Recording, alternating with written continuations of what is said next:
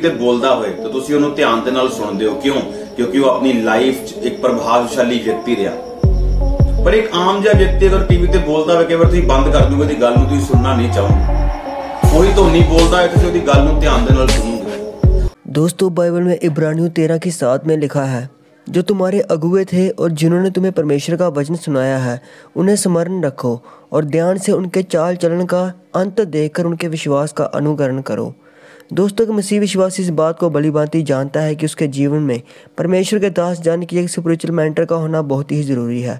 और होली स्पिरिट की अगुवाई के साथ साथ अपने अगुए यानी कि स्पिरिचुअल मेंटर की अगुवाई में चलना भी बहुत ही ज़रूरी है। क्योंकि परमेश्वर अपने ऊपर विश्वास रखने वाले हर एक विश्वासी से अपने दास के ज़रिए भी बात कर सकते हैं, जिससे जब हम उनके मुख से कोई भी वचन सुनते हैं तो वह हमारे हृदय में उतर जाता है, जिसको ग्रहण और मनन करने के लिए परमेश्वर के दास हमें प्रेरित भी करते हैं।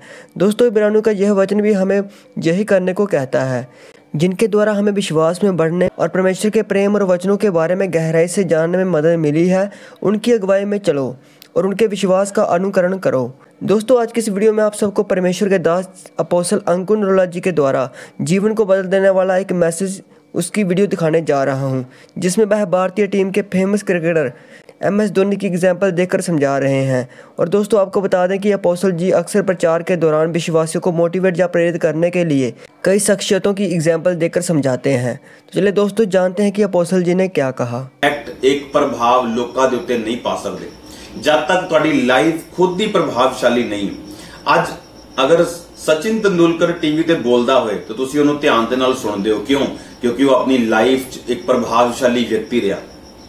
ਪਰ ਇੱਕ ਆਮ ਜਿਹਾ ਵਿਅਕਤੀ ਅਗਰ ਟੀਵੀ ਤੇ ਬੋਲਦਾ ਹੋਵੇ ਕਈ ਵਾਰ ਤੁਸੀਂ ਬੰਦ ਕਰ ਦੋਗੇ, ਉਹਦੀ ਗੱਲ ਨੂੰ ਤੁਸੀਂ ਸੁਣਨਾ ਨਹੀਂ ਚਾਹੋਗੇ। ਉਹੀ ਧੋਨੀ ਬੋਲਦਾ ਹੈ ਤੁਸੀਂ ਉਹਦੀ ਗੱਲ ਨੂੰ ਧਿਆਨ ਦੇ ਨਾਲ ਸੁਣੋਗੇ। ਪਰ ਉਹ ਕਿਉਂ? ਕਿਉਂਕਿ ਇੱਕ ਪ੍ਰਭਾਵਸ਼ਾਲੀ ਵਿਅਕਤੀ ਦੀ ਗੱਲ ਤੁਸੀਂ ਸੁਣਦੇ ਹੋ। ਕਿਉਂ? ਉਹਦੇ ਵਚਨ ਜਿਹੜੇ ਆ, ਉਹ ਪ੍ਰਭਾਵਸ਼ਾਲੀ। ਉਹਦੀ ਆਤਮਿਕ ਦ੍ਰਿਸ਼ਟੀ ਦੇ ਵਿੱਚ ਪਰਮੇਸ਼ਵਰ ਨੇ ਕਿਹਾ ਕਿ ਮੈਂ ਤੈਨੂੰ ਪ੍ਰਭਾਵਸ਼ਾਲੀ ਬਣਾਵਾਂਗਾ। तो दोस्तों, आपको यह वीडियो कैसी लगी, आप हमें कमेंट सेक्शन में ज़रूर बताएँ। परमेश्वर आप सभी को आशीष दे।